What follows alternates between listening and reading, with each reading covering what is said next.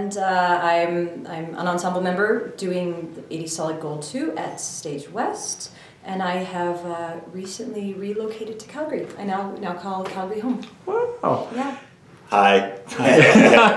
Perfect. uh, Andrew McGillivray, and uh, I'm an ensemble member in 80 Solid Gold 2. Hello, I'm Katrina Reynolds, and you can call me Kat. And this is, I think, my sixth or seventh production with Stage West. Um, I love it here. Do a lot of the Christmas gigs. It's been great, and this one has been especially great. Yeah. Uh, so hi, my name is Chris Sams. I'm here in Calgary at Stage West doing uh, 80 Solid Gold 2. And uh, what is your big career achievement to date that you'd like to point out? Of many. Um, I mean, this is, yeah. you've almost got a permanent residency I know, here. it's amazing. I mean, each show, I'm loving each show. So, like, right now, I'm just loving getting to sing the songs that I grew up singing and gone karaoke many times and sang. So, like, Love Shack, I'm singing this. Mony Mony.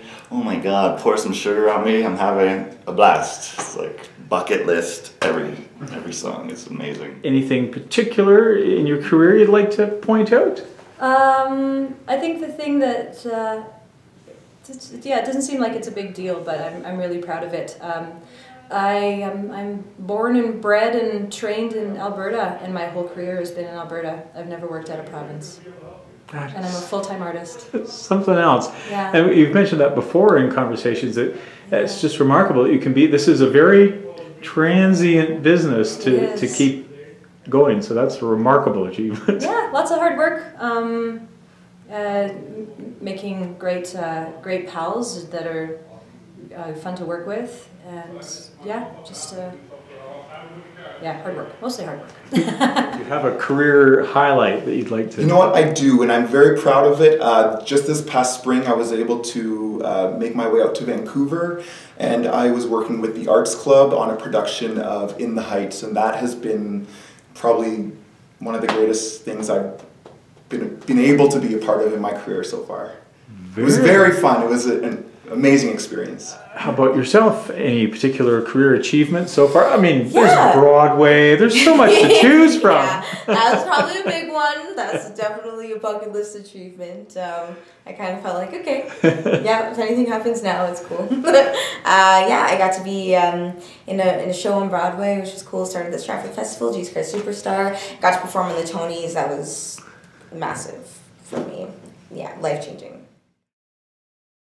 What were some of the, the highlights for you of this Um, particular show? Yeah, like I said, Love Shack is amazing. Um, I'm really liking. Uh, I'm singing the song "Broken Wings," which wasn't one I would have chose for myself, but it's just I'm loving it, and I like how that works out. You know, I wouldn't have chose it for myself, and it's a great moment I feel I'm having on stage with that, and yeah, I'm just having a blast. I get uh, Pet Shop Boys, uh, Tears for Fears, man, it's great. Wham, you can't go wrong. And uh, we still have yet to do any Prince, so I see a 80 solid gold 3 somewhere down the road, maybe not next year, but A solid franchise. or just a Prince show. I think we could do that. So I get to do a lot of fun people. I get to do some Bobby McFerrin, uh, Don't Worry, Be Happy. I get to do MC Hammer, which a lot of the younger audiences seem to love. Um, I get to do Lionel Richie all night long. Uh, Milli Vanilli, that's always fun. The uh, yeah, that, that, that's a good one too. So who are some of the? And I think uh, I, I can suggest uh, Bonnie Tyler was uh, one of the people that you you Yeah, covered. Bonnie Tyler. I, uh, I I get to do a couple karaoke favorites for sure. Um, Total Eclipse. I get to sing that song and Love Shack.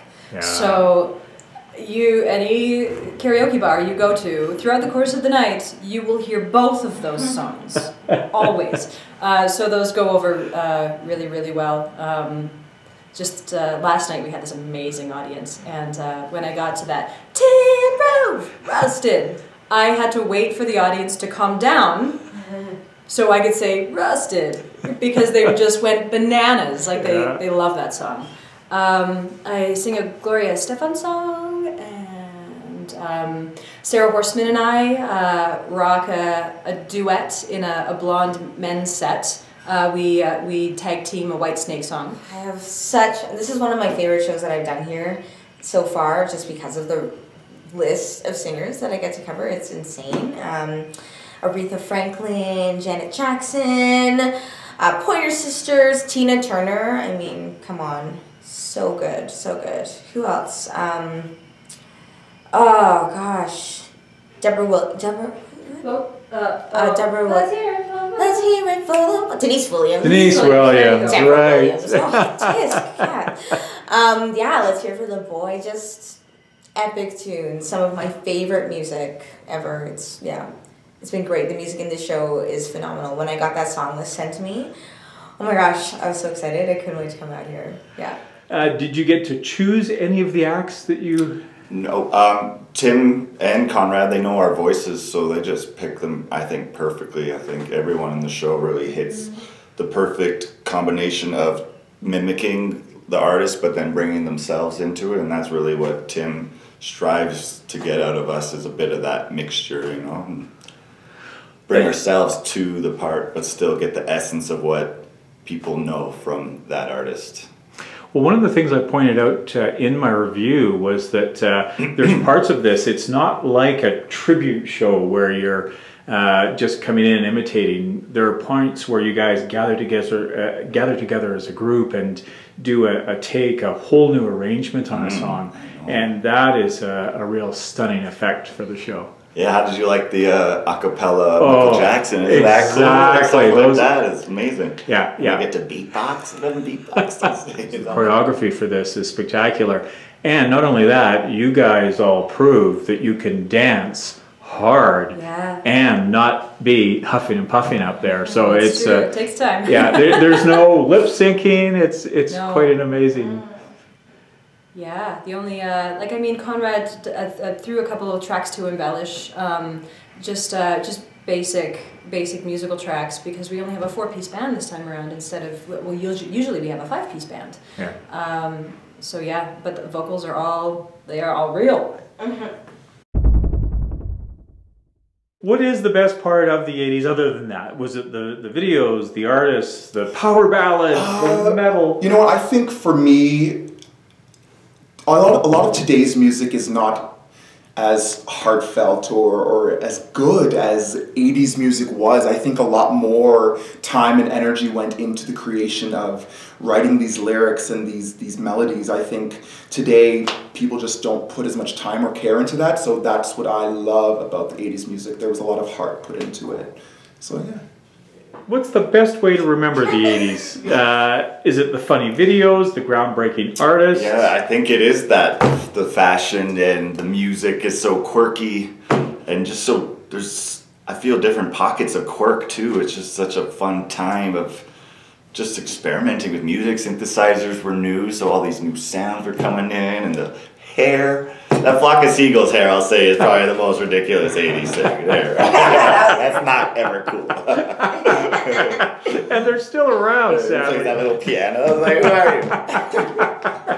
you? Uh, was there anything else? What what made that '80s period so great, especially for music? Oh, I think, you know, it was really cool. I think that's kind of the first time where artists started influencing trends on a very large scale where you know Michael Jackson would wear a certain outfit in a video and the next week men would all be wearing these red leather jackets with the stripe and just mimicking him or the gloves or the haircut was, I think it was the first time in that in uh, in musical history where we really see artists influencing fashion and um, and uh, uh, you know the way that people talked, the way that they acted. It, it was really uh, they set an example and kind of you know yeah. I don't know. I guess I guess I guess it was the the first time that music really had that kind of uh, a push on a generation, and it, you could see trends shift and change based on an artist's music video that's just come out or something. You know, yeah. Um, yeah, I don't know the, the the eighties. Like just riffing on what you were saying before. The thing with the eighties is that it became it became such a marriage of visual medium and music, um, and that's uh, and it's, it's, it's something that I said in a couple interviews about the 80s, 80s Solid Gold One. I grew up in a dance studio. And so, like, I mean, I, I, I was born in the 70s, so I grew up through the 80s in a dance studio. Uh, and and uh, so, so the 80s for me is just this amazing marriage, this introduction of videos and idolizing dancers and, and um, artists that did dance, like Madonna, as like, she was amazing. But there were some horrible trends out of the 80s. What are some of the worst trends you can remember? Well, I as horrible as they are, I love them all. But I would say like the fitness craze, all that spandex and uh, leg warmers is pretty awful. But I kind of love that awfulness of it, and uh, I I will leave it there. Cause yeah, I like everything. Um, yeah, He Man, awesome. uh, I don't know. Do you have any particular uh, 80s trends that you uh, think we're the worst in the world? Let me think. Uh, for me, for me, it's probably the mullet. I think the mullet is pretty bad. Um, there's no excuse for it. And you know what? There was a guy in the audience the other night. Ooh, maybe I shouldn't say this. Who had a mullet. Um, and I, you know what? All power to you. If you can rock it, you can rock it, right? You know, just wear it with confidence. But I think the mullet was something that we look back on, and it's not not the best fashion or beauty choice. How about yourself? What's a horrible 80s trend that you The may have rat lived through? tail. Oh, jeez. I forget The about that. Rat tail. Don't get me wrong. I was a huge New Kids on the Block fan, but I was like, Jordan, you gotta lose that rat tail. Oh no. Honey, yeah, That's no, right? than a mullet. The rat tail. The mullet gets the attention, but I forgot completely about the rat tail. Yeah. But like to, um, all- all of the other terrible 80s trends that people could think of, I actually still incorporate that into my fashion choices currently, so. yeah, can't really come down on those too hard. So, what's the worst 80s trend? That's going to be tough to beat rat tail. Oh, I know. Well, now that Amber said rat tail, I can't think of I can't think of anything worse than a rat tail. That's just disgusting. I'm sorry. It's so bad. Oh my gosh. Mullet, schmullet. Like I'll take a mullet over a rat tail any day. Um I was gonna say shoulder pads, but then I realized that the dress that I'm wearing to the New Year's Eve party has shoulder pads. in it, so that's not too bad. It's actually super cute. Um, Everything old is new again. Yeah, exactly. yeah, the 80s had some great fashion trends when they came out with the neon. I'm like, come on, that stuff is great. Yeah? Yeah, I think you got you got me with rat tail. Okay. That's what I mean. True. What's worse than that? There's nothing worse than that. Rat tail is trouble. yeah. yeah.